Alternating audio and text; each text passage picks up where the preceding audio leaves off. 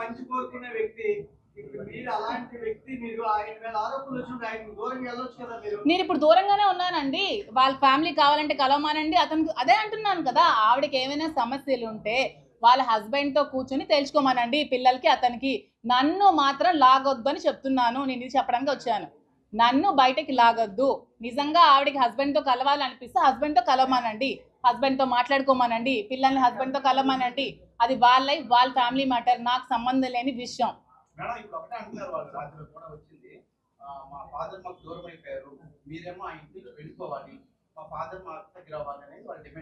అది మీరు కాదండి నేను ఇప్పుడు ఇంట్లో ఉండట్లేదు. నేను అప్పుడప్పుడు వెళ్ళి వస్తున్నాను అంతే. వెళ్ళమనండి ఇంట్లో ఉండాలంటే అది శ్రీను గారికి వాళ్ళకి సంబంధించిన విషయం అండి.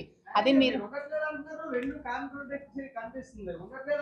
ఏమండి ఎలక్షన్ చెప్తున్నాను నేను. అదే ఎలక్షన్ నేను టూ మంత్స్ నేను కాల్ సెంటర్ పెట్టాను. అక్కడ మీ చాలా సార్లు వచ్చావు కదా సౌమ్య నువ్వు కూడా నేను ఐపాక్ టీం పెట్టాను. ఎలక్షన్ దగ్గరుండి నేను చేశాను. నేను చేశాను. ఎలక్షన్ దగ్గరుండి చేశాను. నేను అక్కడ ఉన్నాను. ఎవరు అడిగినా చెప్తారు నేను ఉన్నాను. ఎలక్షన్ దగ్గరుండి చేశాను. ఫైనాన్షియల్గా నా డబ్బులు నేను ఖర్చు పెట్టుకొని చేశాను. నేను ఉండి వచ్చానని చెప్తున్నాను కదా. దాంట్లో నేను దాయ దాయడానికి ఏముంది? డబ్బు కోసం కాదంటున్నారు. ప్రేమ కోసం దగ్గర అయ్యారా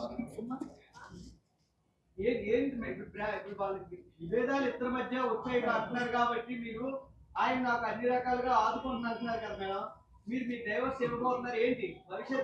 ఏమండి ఇప్పుడు సొసైటీలో ఇప్పుడు ఏదైనా ఎలిగేషన్స్ వచ్చాయనుకోండి ఒక హస్బెండ్కి దూరం అయ్యి ఒక ఒంటరిగా ఉన్న మహిళలు ఏంటి చాలా ప్రాబ్లమ్స్ ఫేస్ చేసుకోవాల్సి వస్తుంది కదా. అలాంటి ప్రాబ్లమ్స్ ఫేస్ చేసుకోకుండా సపోర్ట్ చేస్తానని చెప్పారండి. మీకు అర్థమైంది అనుకుంటాను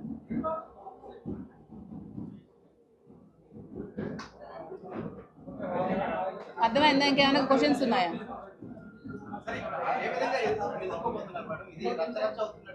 అదే నేను మీ మీడియా ముఖంగా మీ అందరికీ దయచేసి రిక్వెస్ట్ చేసి నేనేం చెప్దాం అనుకుంటున్నానంటే ఎవరే ఆవిడ చెప్పిన మాటలు నమ్మి నన్ను బజార్లోకి లాగదు. దయచేసి నా ఫ్యామిలీని నా పిల్లల లైఫ్ని తీయద్దు.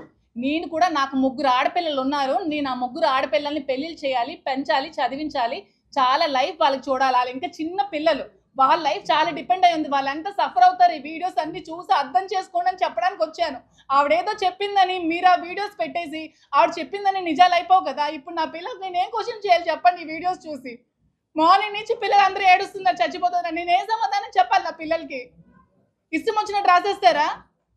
ఎవరెవరితో మాట్లాడరా సొసైటీలో? ఎవరెవరితో మాట్లాడట్లేదు? మీరు ఎవరెవరితో మాట్లాడరా? ఎవరెవరితో మాట్లాడట్లేదా? ఎవరెవరు ఫ్రెండ్స్ లేరా? రిలేషన్స్ లేరా? దీని ఇంత ఇష్యూ చేసి నా మీదకి రావాలా? ఆవిడకి ఫ్యామిలీ ఇష్యూస్ ఉంటే హస్బెండ్ దగ్గరికి వెళ్ళి తెచ్చుకోమనండి. లేకపోతే లీగల్గా ప్రొసీడ్ అవ్వమనండి. కోర్టుకి వెళ్ళి తెచ్చుకోమనండి అతనికి ఆవిడకి అది సంబంధించిన విషయం. నా లైఫ్ ఎందుకు మధ్యలోకి లాగుతారండి?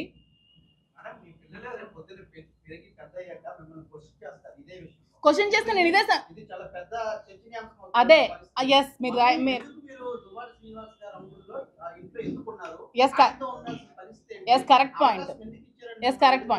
పిల్లలు క్వశ్చన్ చేస్తారనే ఇప్పుడు నేను శ్రీని గారితో ఉండదామని డిసైడ్ అయ్యాను. ఎందుకంటే ఇది వచ్చిన ఈ మచ్చ ఎప్పటికీ లైఫ్లో పోదు.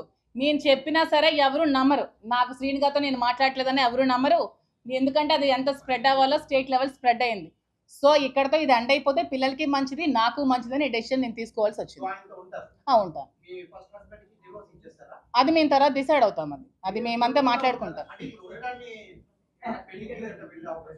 డైవర్స్ అవ్వకుండా పెళ్ళి చేసుకోకూడదు కదండి. ఒక ఫ్రెండ్గా ఉంటానండి. ఫ్రెండ్స్ కలిసి ఉండకూడదా? మీకు మీకు అమ్మాయిలు ఎవరు? ఫ్రెండ్స్ లేరా? ఉంటాం కదా.